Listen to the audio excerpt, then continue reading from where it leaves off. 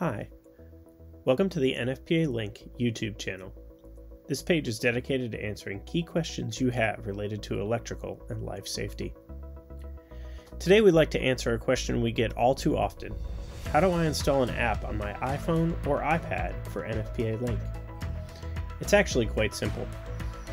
The iPhone and iPad have the ability to bookmark a web page as an application on your home screen.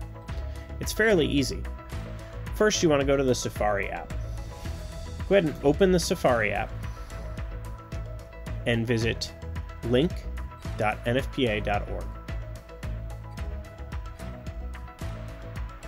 Once you've visited the site, you want to look for the share button in the bottom middle.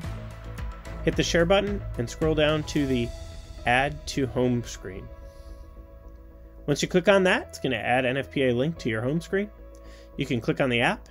Once you're signed in, it'll keep you signed in and allow you to have quick access to everything NFPA Link has to offer. We hope you found this tutorial helpful.